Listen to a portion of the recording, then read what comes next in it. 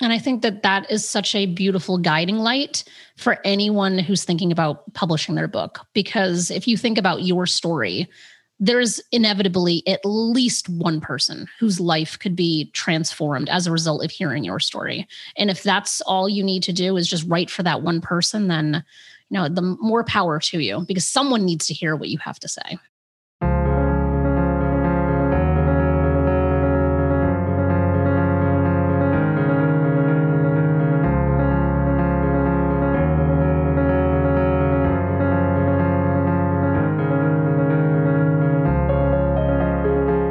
Graying Rainbows, the podcast community for people coming out LGBT plus later in life. I'm your host, Dr. Ginger Campbell, and my hope is that wherever you are on your journey, this podcast will help you feel less alone. For more episodes of Graying Rainbows, along with detailed show notes, please visit my website at grayingrainbows.com. You can also get show notes automatically each month if you sign up for the free newsletter on the website. You can send me feedback at grayingrainbows at gmail.com. You can post voice feedback at speakpipe.com forward slash graying rainbows or post to the Graying Rainbows fan page on Facebook. We also have a private group for Graying Rainbows on MeWe, which I'll tell you about later. A new episode of Graying Rainbows is scheduled for release on the first Friday of August. But this is an extra episode featuring my friend Jenn T. Grace from Publish Your Purpose Press. Jenn is going to share a little of her story and tell us about how Publish Your Purpose Press helps people bring their stories to the world. She's also going to tell us a little bit about the memoir she just published, which is called House on Fire Finding Resilience, Hope, and Purpose in the Ashes. If you have ever wanted to write a book, you won't want to miss this episode. But even if writing doesn't interest you, I know you will enjoy getting to know Jenn T. Grace. Well, Jenn Grace, it is great to have you on Graying Rainbows today. Thank you, Ginger. I'm excited to be having this conversation. So, what I usually like to do is start by asking my guests to just share their story in whatever way feels comfortable. All right. So I feel like, as someone who helps people share their stories, I could take this in a thousand different directions. But in terms of sharing my personal story, when I think about sharing my personal story, I immediately kind of go to my personal life as it relates to my work life. And so when I think about that, I kind of go back to my dream as a child, which was to work in advertising.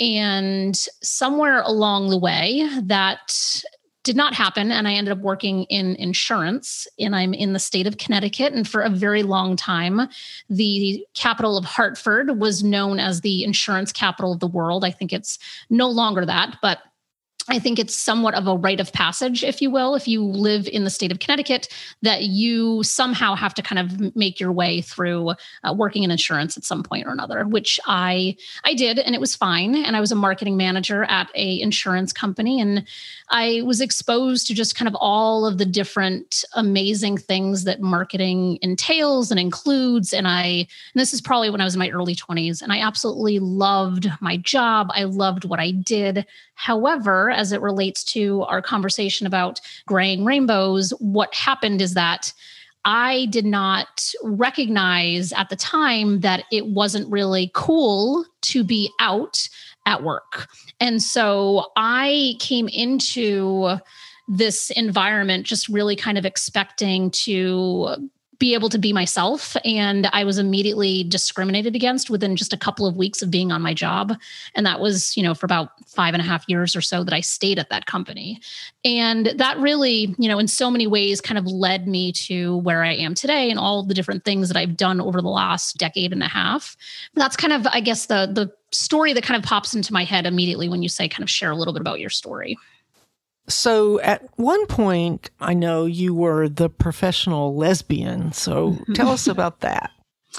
Yes. So that actually stemmed out of my workplace experience. So I was working again at this insurance company. And instead of like, I'm kind of like a, I like to take charge. I like to get things done. I'm very much known for just if you need something, I got it covered. You don't need to know how it got done, but you know that I will get it done.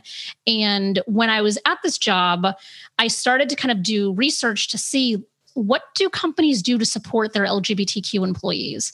And I was like the company I was working for had like maybe 100 employees, so it wasn't a big company by any means.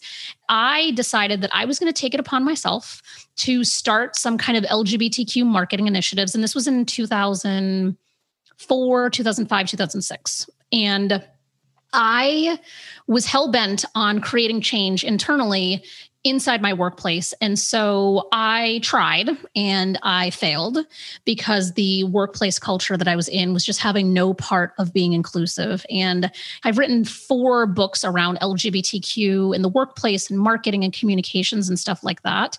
I write a lot in much in, in great detail, kind of my experience in the workplace. But what ended up happening is that I finally got to that breaking point where I just couldn't reconcile what I was saying publicly about the company I worked for versus what was happening to me internally as an LGBTQ person. So I decided to leave my job without any safety net. And I did so in 2009. So, like, right during kind of all the, the recession and the, the chaos that was happening. I decided that I would start consulting with companies, both big and small, on how to just do it right for LGBTQ people. And one day, you know, I was kind of jokingly telling somebody, like, yeah, like I'm a professional lesbian for a living. This is what I'm doing. And the joking kind of just stuck. And every time I would say that, it would get people's attention. And so I decided, you know what, the hell with it. I'm just going to start to brand myself as the professional lesbian. So if you look up my name, that over publishing, which is what I do now, um, that over and over again is the top things that come up in any search result is me as the professional lesbian. So before we talk about, I do want to talk about Publish Your Purpose Press, but did you come out as a teenager or what was happened with you? Oh yeah, yeah. So I you know, it's one of those interesting things. And I haven't met too many people who share as similar of a story, but when I do, I feel like I found, a, you know, a kindred spirit. But if I go back in time, I can now see very clearly that in about fourth grade, that I definitely like I had a, a, big crush on my fourth grade science teacher, for example. But I had no idea. I don't know if it was being a late bloomer. I really don't know. But I had like an aha moment one day when I was 19, where all of a sudden, out of what felt like nowhere, it's like I could see my life in focus. And it was the revelation that, like, wow, I am not attracted to boys. I'm actually attracted to girls. And it really just kind of hit me. And then once I had that revelation, it was like for the first time, I could see everything in really clear focus. And I was able to go back through history and be like, oh, that's what that feeling was toward that person, or that was the lack of feeling toward this other person. And then I was able to really kind of date it back until about the fourth grade or so versus you know other people that i know. You know i know so many people who just kind of knew when they were like five. I don't think i had the self-awareness as a child but for some reason around 19 it all kind of hit me at once. And i've started asking people to put years on things just because everybody's experience is influenced by when it w-was so mm-hmm. w- what year was that when you were 19 2000 okay. Because at that point probably young people were aware that one could be gay, right? Whereas, like when I was a kid, it was very much hardly ever mentioned. Yeah, I think I I was kind of evolving as just the the recognition and the the media exposure was also evolving because I remember when Ellen came out in 1997 so this was still about 4 you know 3 or 4 years after that. To me I definitely started seeing more LGBTQ characters. Not that there was you know a saturation of them by any means but definitely started to see that there are more gay characters portrayed on TV shows or in any number of other kind of cultural references. It's interesting and I, I find those conversations interesting when I talk to people who are older or younger, because based on that decade that you, those pivotal moments are happening in, I think that plays a huge factor in the progression. What year was it when Willow fell in love with Tara? That would have been 2001. No, wait, they graduated in 98. So it would have been around that 99 ish time, right? Yeah, I was never into that, but I had uh, one of my first girlfriends was absolutely obsessed with that show. And yeah, it was definitely, I would say, somewhere between 99 and 2001. Like that was all the rage. And I think that was a really big pivotal piece in kind of um, the media portrayal of LGBTQ characters. So, is there anything else about your story you you want to talk about now before we talk about Publish Your Purpose Press? Not necessarily. I feel like I there's I have never have a shortage of words, so I'm I'm okay moving on if you are. okay, so we met last year because you had a booth at Creating Change for your company, Publish Your Purpose Press. And of course, you helped me with my book, Are You Sure? The Unconscious Origins of Certainty. So, how did you come to start that company? So that was a, a number a number of factors all kind of coming together. So one of the the biggest things was going back to that being you know not being allowed to be out at work at the insurance company i was working in. I just realized and again this was in you know 2006ish is really when i started getting very involved in the lgbtq space around marketing. In 2006 there just wasn't a lot out there as it related to best practices whereas now you know 14 years later there's just so much information. But when i started it there were only maybe a half a dozen other people or companies that were doing stuff in this space. I could see very clearly that a way to get myself more uh, more known in the space was to start writing books. And so i wrote my first one that i published in 2013 and i had already started a podcast back in 2012 which is now titled lgbtq personal branding for the lgbtq entrepreneur i think is what it's called. I feel like i should know this um, but it's something like that. I haven't recorded a new episode in a very very long time. And i was writing two blog posts a week through all of 2012 13 14 and 15 so there's hundreds of blog posts there too. And what i realized is that you know some people don't want to have to hunt and peck and find the information that they're looking for on a website. Even though it's there for free they would rather just buy a book and have the shortcut version of it given to them. And so i wrote and published my first one in 2013 and it was called but you don't look gay. And it was really around successful marketing strategies for companies to be thinking about which included phrases and things that you should not say, such as, but you don't look gay. Right. As anyone listening to this podcast knows, there are so many offensive phrases that we probably hear on a pretty consistent basis that it's like, you know what? I've heard this so many times. I'm just gonna, I'm just gonna let it go because you know, you gotta pick your battles. I wrote the first one in 2013, then I wrote another one in 2014, another in 2015.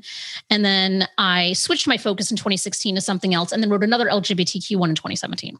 So that was all kind of happening. And everyone I knew seemed to be asking me, How did you write your how did you know how to write your book or how did you know how to hire an editor or how did you know how to hire a cover designer it was all of these questions that i was getting on a really frequent basis that made me say, all right, what if I decided that I was going to teach people how to write their books and how to publish their books? Like, what would that look like?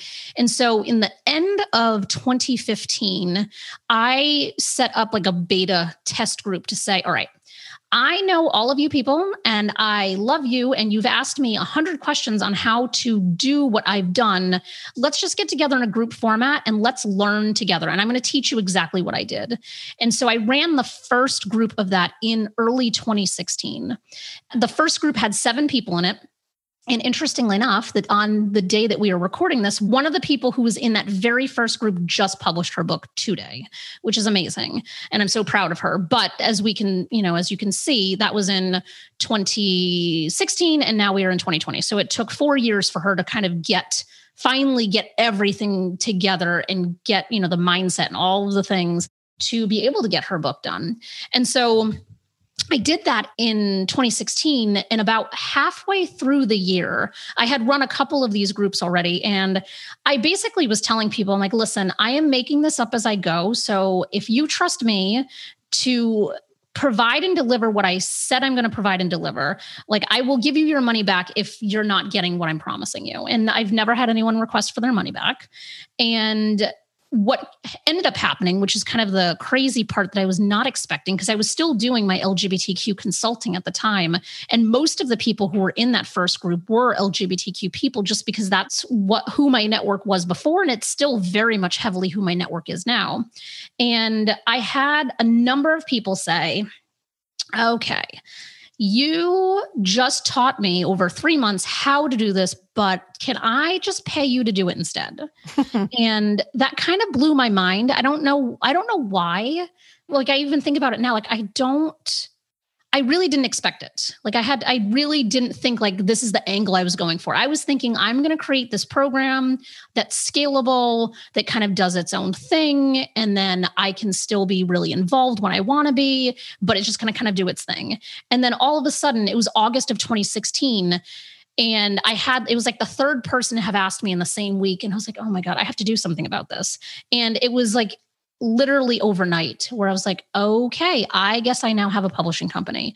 And so that was a fun learning curve to figure out how to um, start establish and then run a publishing company. And the one thing that I really had absolutely no idea about was that with consulting, you have very high profit margins because you do all the work. And you know there's not a huge amount of overhead because it's kind of like you're the one woman show and you kind of go out and do your own thing.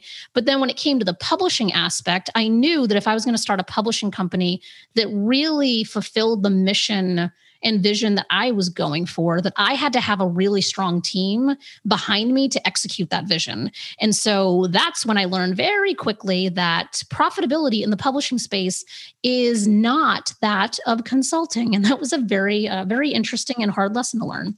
But that's kind of how it all came to be. It was very, it was very organic. It was very natural.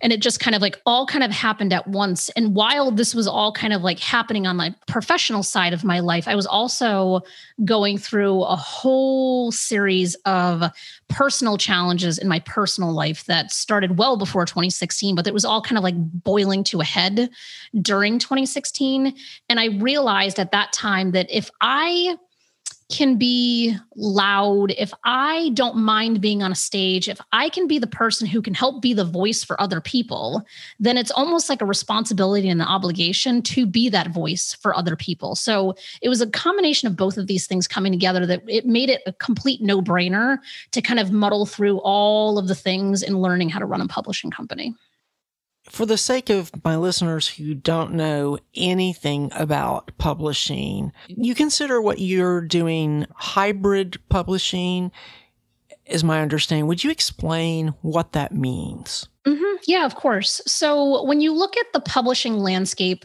the two common options that everyone knows about typically, and that's traditional publishing and self publishing. And so with traditional publishing, there's a lot of hurdles to get through to get a publisher to say, yes, I'm willing to take a chance on you, unknown author, and I'm going to, you know, when we're going to bring your book to market together.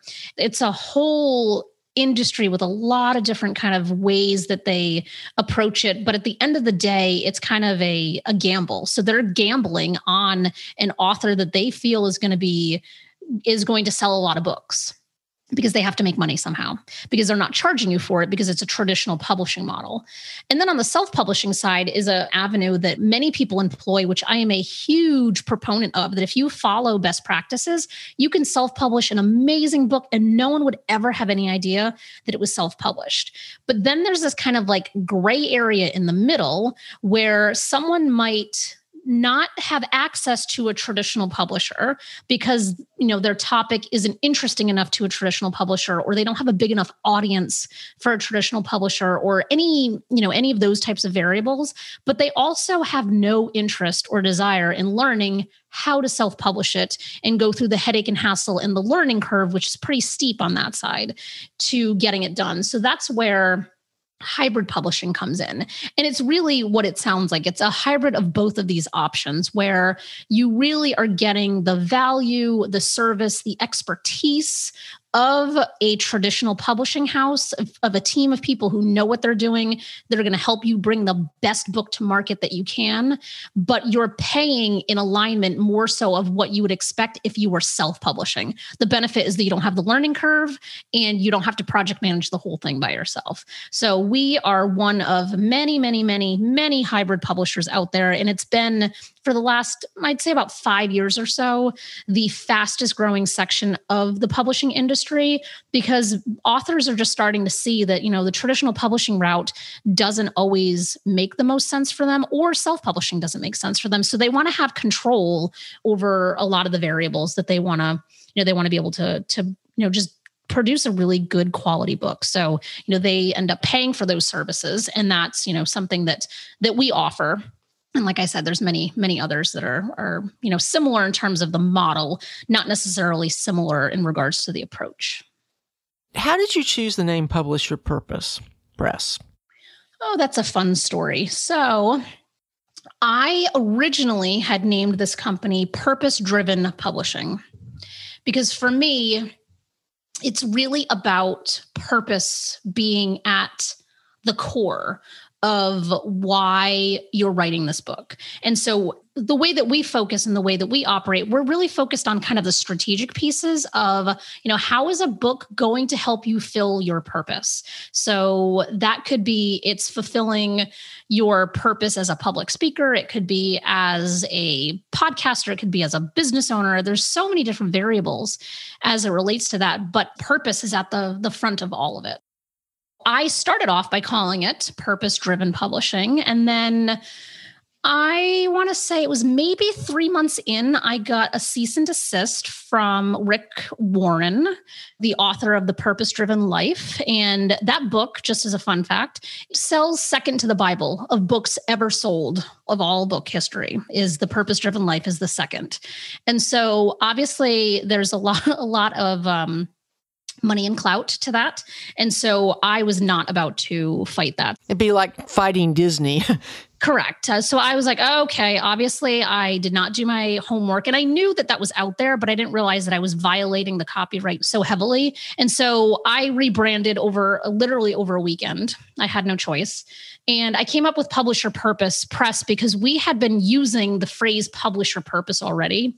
And I was like, oh, I'm just going to use that. And it was a friend of mine who happened to point it out of like, um, duh, the answer is right in front of you. Cause I kind of panicked thinking like, oh Lord, I got to come up with a, I got to come up with a different name really quickly. But the crux of it is really because it's just, it's focused around purpose. Because I think if we have purpose in life, we have our mission, our values. We want to create impact and make change in the world, that we have to have a strong purpose as the foundation for all of that. So, if somebody comes to you, do you have some sort of screening criteria that you would use before you accept a client?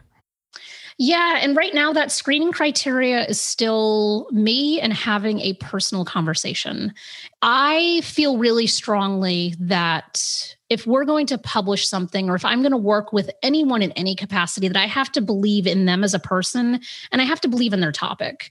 And if I feel like one of those is out of alignment, I have a number of different publishing partners that I can make very strong referrals to to say, you know, for whatever reason, you know, I, I don't think this is going to be the right fit for us, but I want to make sure that even if I'm not a right fit, that the person that I'm referring to someone else that they're still going to have a good experience even if it's not you know a right fit for me. I want to make sure they don't get taken advantage of in this industry that is notorious for being very predatory to first time authors. So right now it's still the vetting process is still a conversation with me. And then you know if we kind of get through that first phone call where where we recognize like okay we're in good shape. Send me your manuscript. I'll take a look at it. I'll have my editorial team take a look at it.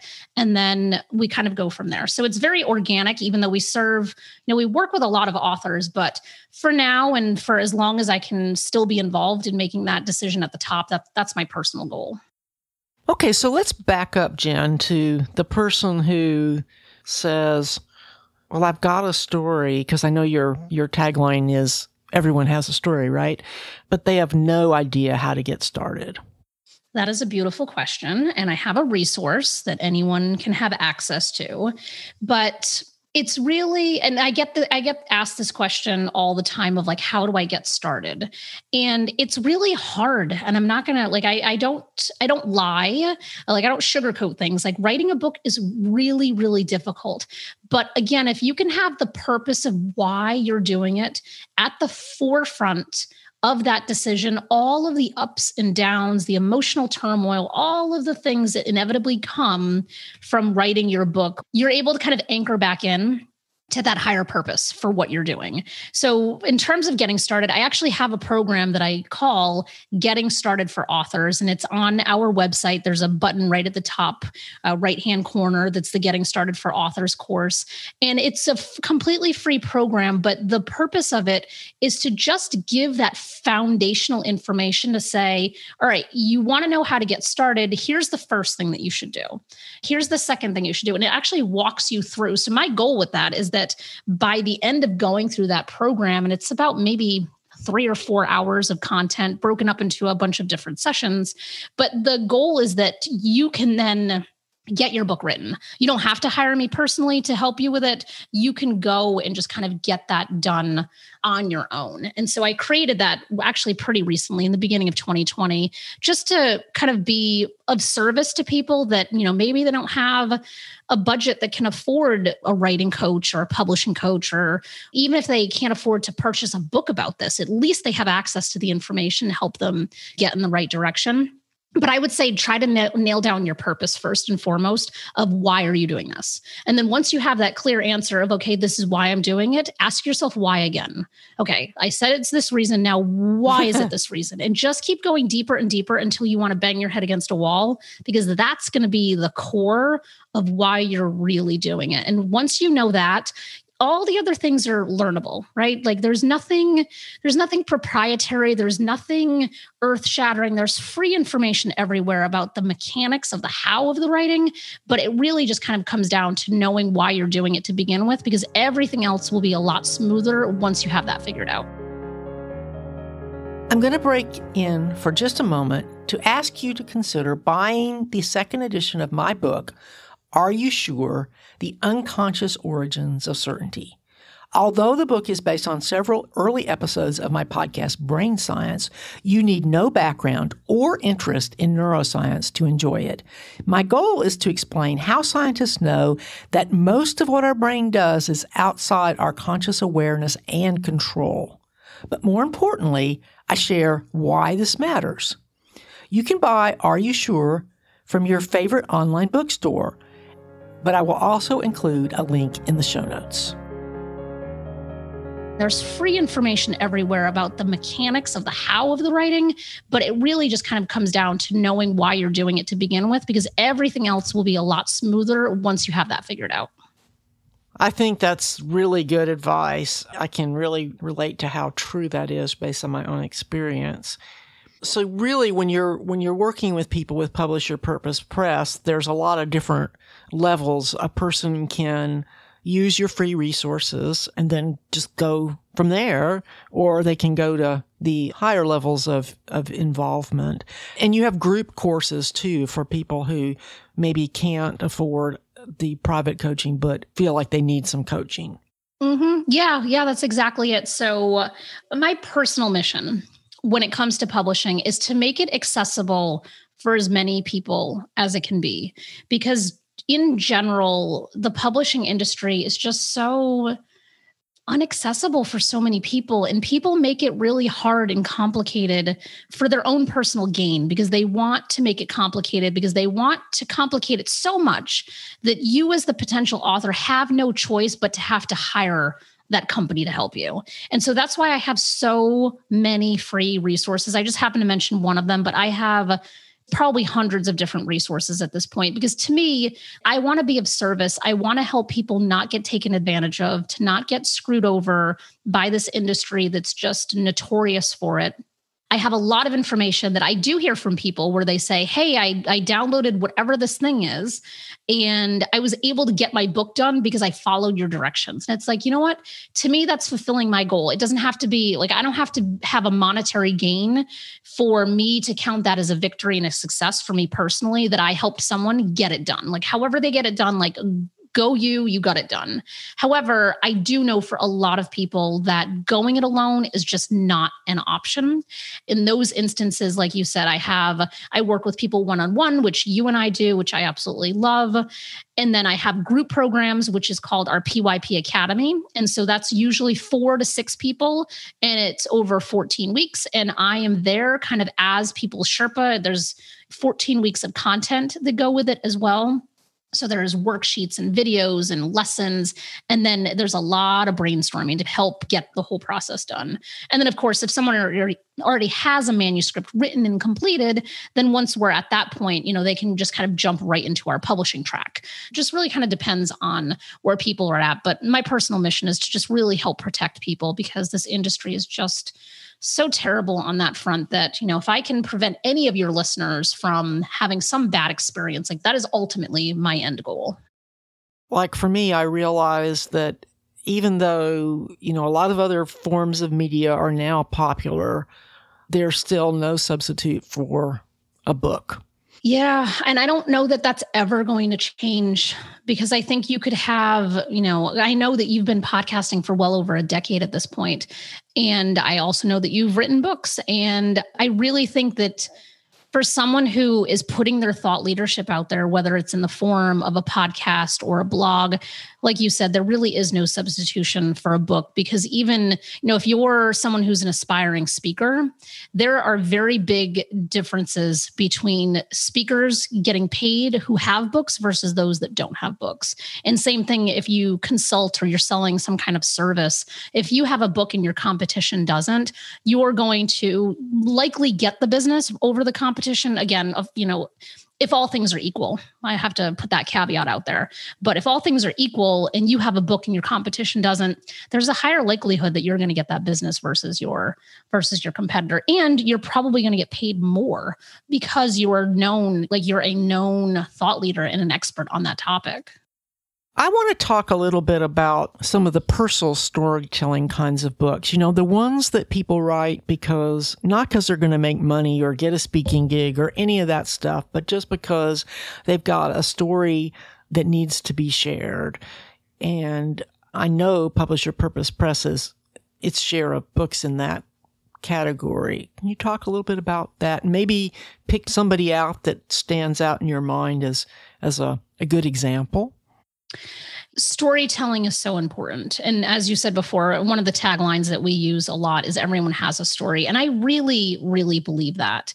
Oftentimes, what happens is that as an author or an aspiring author or just someone who has a story that they want to share it in whatever medium that might look like, we have this false belief that our story isn't worth sharing. We're not worthy enough. There's a little bit of an imposter syndrome kind of mixed into it. Or we're looking at what other people are publishing or what people are releasing as bestsellers. And we're kind of like mm, you know my my story wouldn't reach that big of an audience. So if you're thinking, why would I only publish this book if it's going to sell a thousand copies? Your book doesn't have to be a New York Times bestseller. It could easily be that your intended and target audience is maybe only a thousand people worldwide, but that shouldn't be the limitation that you put on yourself and your story because there's still those thousand people that you could dramatically impact the quality of their life by them hearing your story and what you've gone through. And I can even use my own book as an example, my memoir that is releasing as we speak there's a lot of books around mental health, a lot of them. And there's a lot of books that are around suicide or depression or high anxiety or even autism spectrum. Like there's just a lot of stuff, like kind of all in that realm. But there are a lot of mental health disorders that are very, very I don't want to say niche, but they impact or affect a much, much, much smaller percentage of people. And I think sometimes people just assume, well, you know, this, you know, this thing that I'm struggling with or I'm talking about only affects like 5% of people. Why would I want to go through the headache and hassle of getting the story out there? But what I think we have to remember is that there's still that 5% of people that are being impacted by whatever that is, and they're not feeling seen or heard or represented in any format currently. So your book could be that thing that kind of comes in and helps them feel seen and heard potentially for the first time. And so with my book, it's called House on Fire it is both a literal house fire that I had when I was 18, but it's more of the figurative house on fire of growing up in a home with a mentally, um, a sister with severe mental health needs, to then fast forwarding to raising her daughter later in life, also with severe mental health needs. And that particular diagnosis is called reactive attachment disorder, and it impacts less than 5% of kids worldwide. That is one of the main themes of my memoir.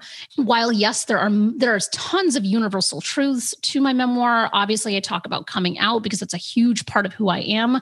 The intended recipient of that book, in my opinion, is for people who are orbiting the world of someone who is struggling with raising a child who happens to have reactive attachment disorder. Because oftentimes you feel alone, people don't believe what you're saying, you start to question your own sanity.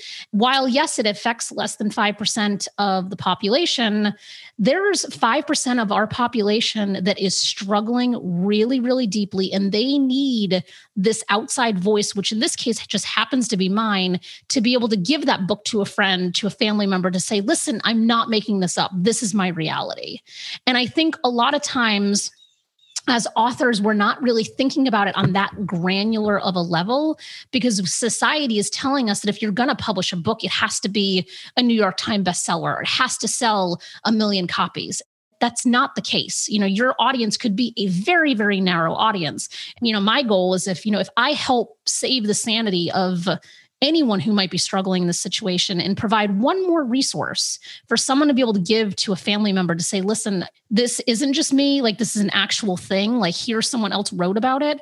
I think that that's kind of what it's all about. So I think that going back to your question about, you know, getting started, and I was talking about purpose, also be thinking about that. Like, who do you want to be impacted by this? And if that number is a very, very small group of people, say, you know, say it's something that only impacts a thousand people worldwide, who cares? You know, because if it's something that you're struggling with, other people are struggling with it too. And that should be one of the guiding principles forward as to why this is worth all of the headache and hassle. When you look at the books that you have published so far with Publish Your Purpose Press, is there one that maybe stands out for you as a good example? I know you, we're, we'll talk some more about your book. It's a great example, but I was thinking maybe it, somebody else's story might stand mm-hmm. out in your mind that you could might share. I have a couple of favorites. I often don't share them in public forums, but there's one book of ours that I happen to be quite fond of that we published in 2017. So it was one of our first books. Our first book came out in April of 2017, and this one came out in November of 2017. So one of our very, very first. And it's called Cracked Open, Never Broken. And it's the story of Eman Getty, who is an author and a grief recovery counselor who is based in Canada.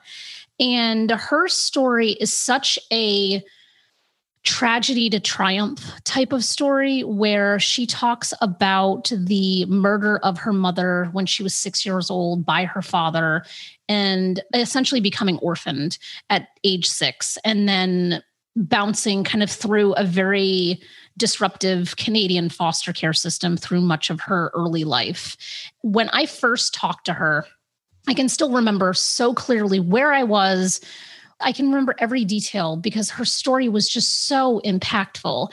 It was so important to her that her story not be sensationalized because there are so many details to the story and I'm, I'm, very intentionally kind of just being vague on it because i don't want to sensationalize what actually happened it was such an important thing for her to make sure that that's not how it came across but she needed to share her story to show and to provide kind of that path and the illumination for other people who may have had something similar happen to them, or even if it's not similar, but to just kind of suddenly be orphaned so quickly and so young, to just show them that there's a, a path forward.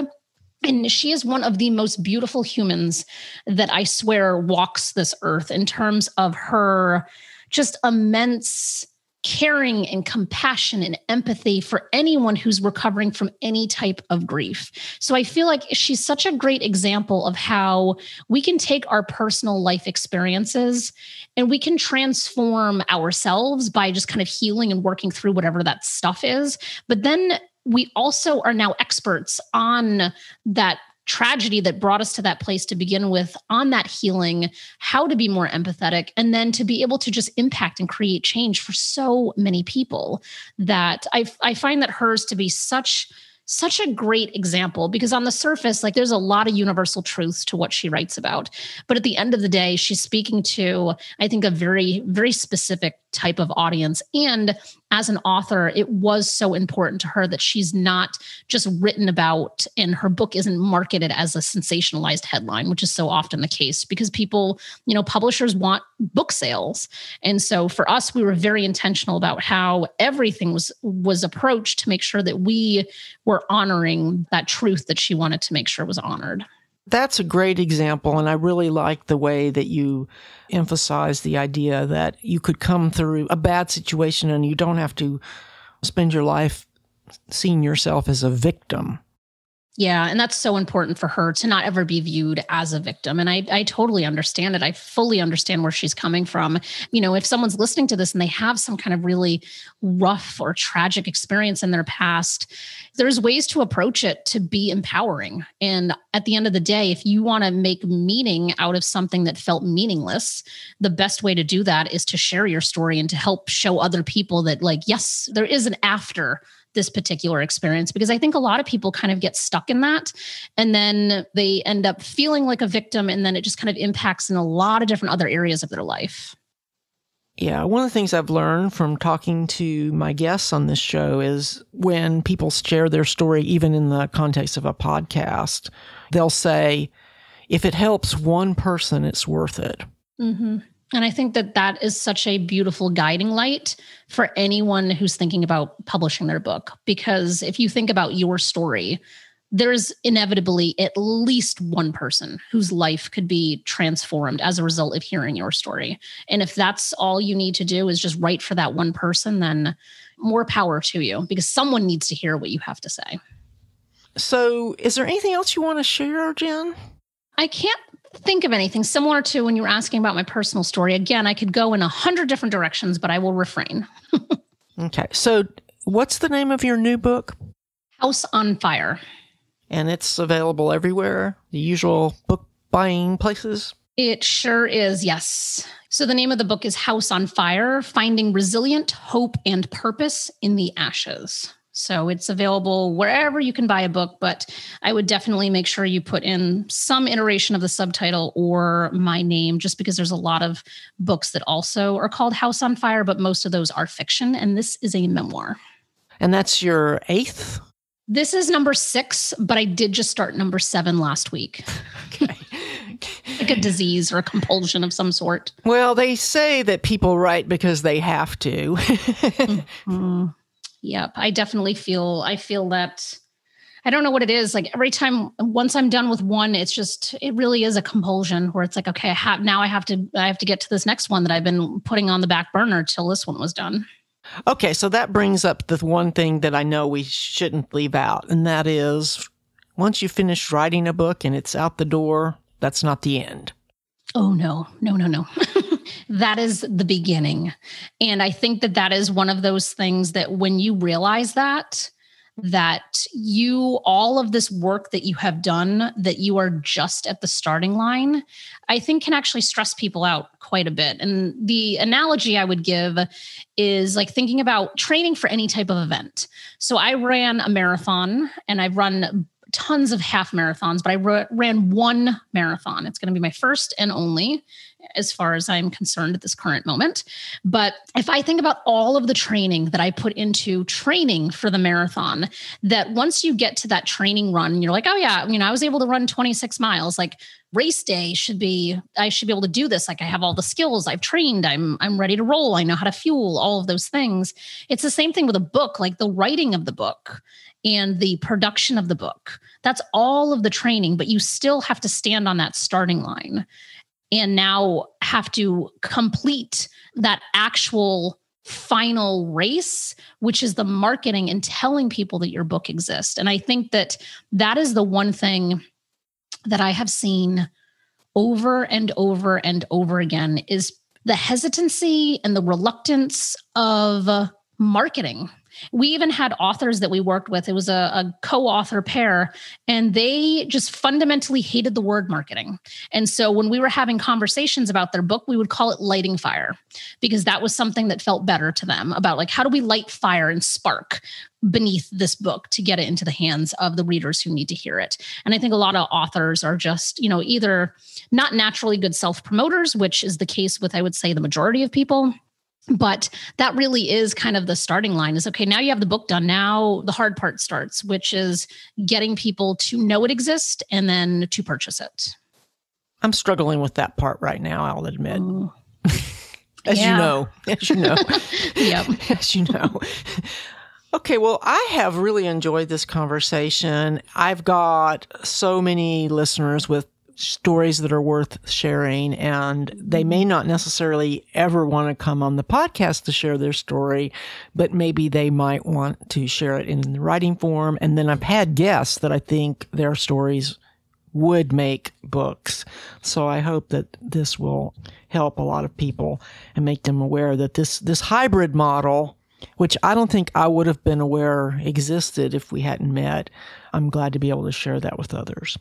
Yeah, I really appreciate the opportunity to share my story and I think any any opportunity is a good one, so I appreciate that. Thank you. I want to thank Jenn Grace for taking the time to talk with me, but I also want to thank her for helping make the second edition of Are You Sure? The Unconscious Origins of Certainty, a book that I feel proud to share with others. If you have any interest in writing, I highly recommend Publish Your Purpose Press. As she mentioned, her website includes many free resources along with a wide variety of other services. Also, don't forget to check out her new book, House on Fire Finding Resilience, Hope, and Purpose in the Ashes. As always, you'll find links to all these things in the show notes on my website at grayingrainbows.com. While you're there, please sign up for the free newsletter so that you can get show notes every month automatically.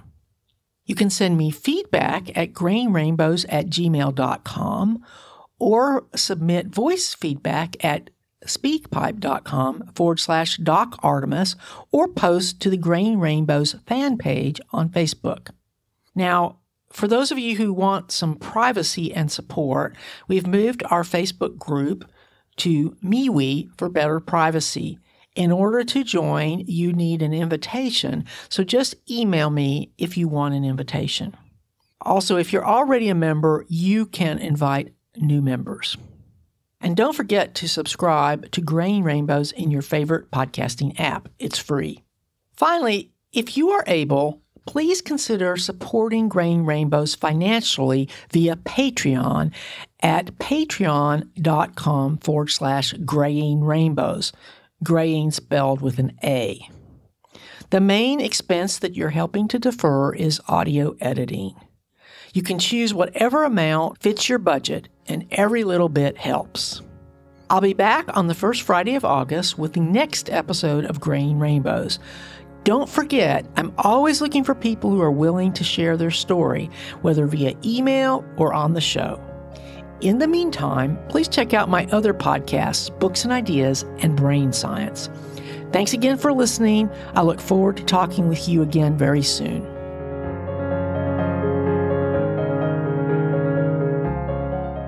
Graying Rainbows is copyright 2020 to Virginia Campbell, MD. You may copy it to share it with others, but for any other uses or derivatives, please contact me at grayingrainbows at gmail.com.